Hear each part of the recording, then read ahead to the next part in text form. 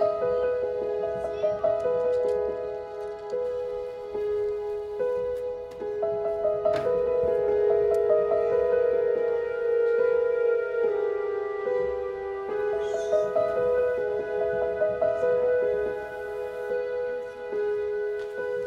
mm -hmm. you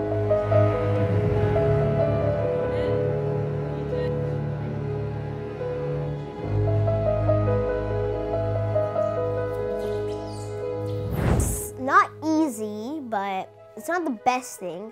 Like, if there's one wish, it would be that a dad didn't have ALS, so we could do a lot more fun things with him. It's hard. It's hard to go through. It's scary. It's it's not the best experience, but you can do it. You can fight through it.